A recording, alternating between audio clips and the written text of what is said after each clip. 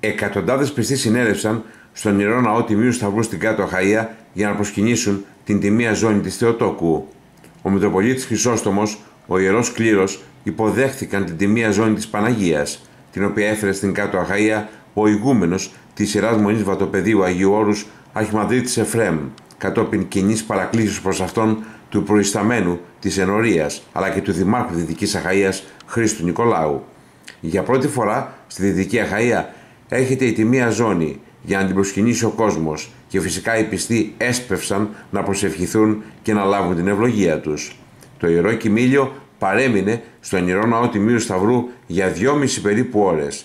Ετελέστη η ιερά παράκληση προς την Παναγία υπέρ υγείας και θείας βοηθείας απάντων των Ορθοδόξων Χριστιανών της περιοχής.